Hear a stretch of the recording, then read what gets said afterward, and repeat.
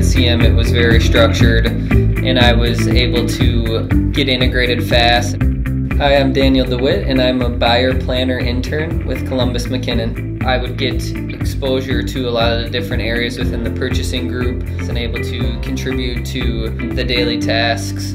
Hi, I'm Kristen, and I interned in 2017 at Columbus McKinnon. What did you like best about interning at Columbus McKinnon? I like my coworkers the best, and also the experience. I felt like I was more prepared as opposed to my classmates who didn't take internships. And it's Bob Belstrom, plant manager at Magnetek Menomonee Falls facility, part of the Crane Solutions team. So I actually started as an intern September or fall of uh, 1996. And I applied and I was interviewed and I was given an internship. I was very impressed that Columbus McKinnon was so flexible with working around my school schedule. But there was a lot I learned on the job that I couldn't learn in college.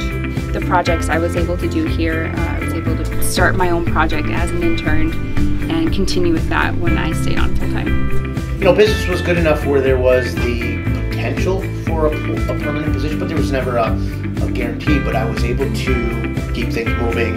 So I was an intern for approximately four months. I am with the company for 22 years.